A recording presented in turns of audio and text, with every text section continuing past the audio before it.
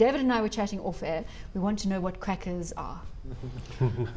crackers, we were saying it's not the thing that goes bang, quite clearly. It sounds like one huge it big sounds bang. like a big bang. now, um, a cracker is a is w- where you take ethane, which comes from from um, from the ground, from natural gas, and you crack that into ethylene. And ethylene is the building block for the whole plastics industry in the world. And from the um, from the ethylene, you then make a variety of projects, whether it's polyethylene or a range of chemical projects. But you can crack ethane. Now, ethane in the US, because of the shale gale that we've seen, is at its lowest costs in forever. And if you take that low cost feeds, uh, feedstock and you build a world scale cracker, the effect of that is that you are in the lowest 30% of the cost curve in the world. And therefore, it's a really competitive opportunity. What do you use it for? I mean, what do you use? Where's its best uses? Is it used as energy or is it used as No, no, it's chemical project. If we look at the GTL that we also ah, yes, announced, okay. So the of course to that's, in- liquids. that's that's the gas to liquids, and there we mm-hmm. take and there we take gas, dry gas. Mm-hmm. We convert that gas into high value, high quality fuels.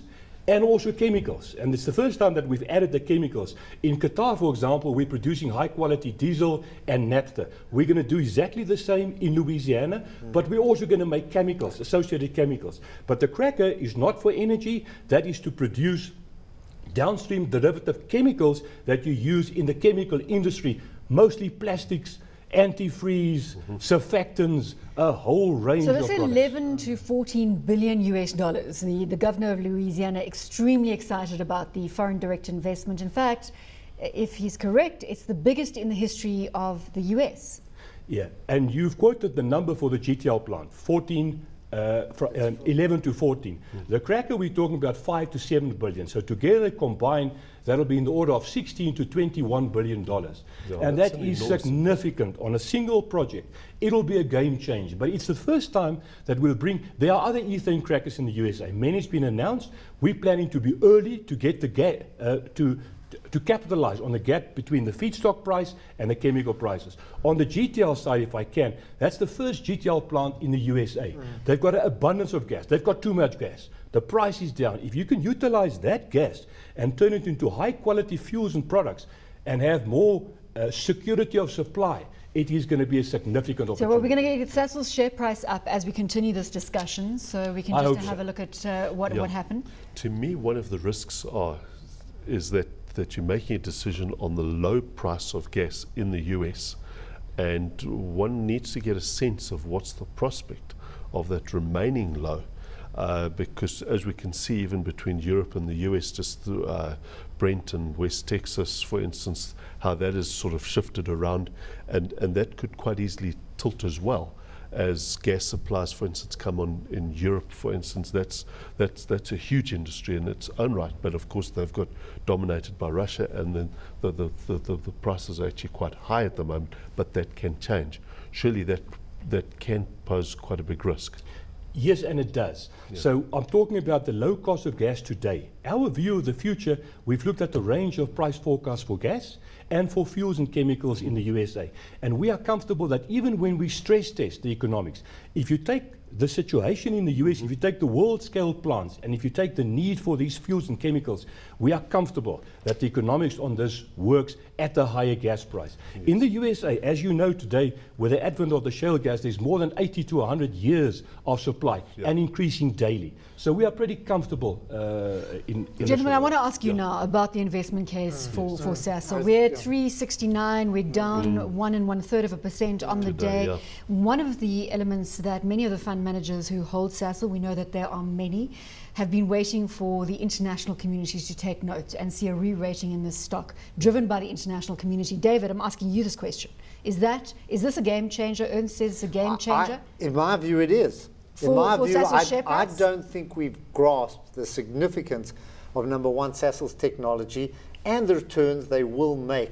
I was the question I was going to ask is who's funding this? Is this going to be solely Sasol or will they look for outside partners? Regardless, it's got to have massive, massive benefit. I think in years Massive to come, Massive benefit for Sasol's share price. for, for Sasol's share price. That's why I'm absolutely astonished that we're not building any future into the share price. We're looking at where it is now and valuing it, and even and now it's at a very low level. So you're buying it at a 5 or 6% dividend yield with all this prospect. It's just crazy. Let's talk about the funding model. Is it Sasol and Sasol alone? The opportunity that, that we have to mimic a Secunda in, in Lake Charles, in Louisiana, is enormous.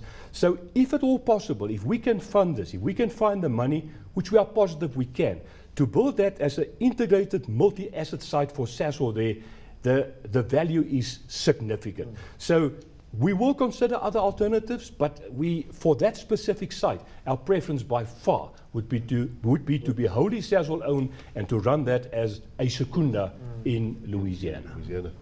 Um, would this be a model that you could follow if we actually do extensive fracking in the Karoo?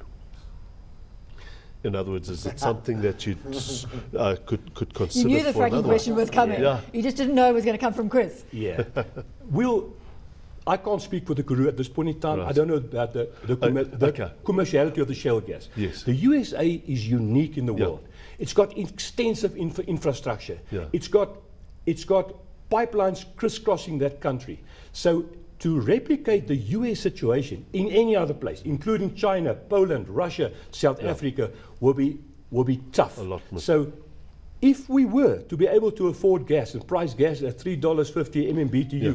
then this would be a game changer also in South, Africa. Africa, But. I think the jury is out to see whether we can do it, Yeah. whether it's commercially viable, whether we can do it environmentally friendly. Yeah.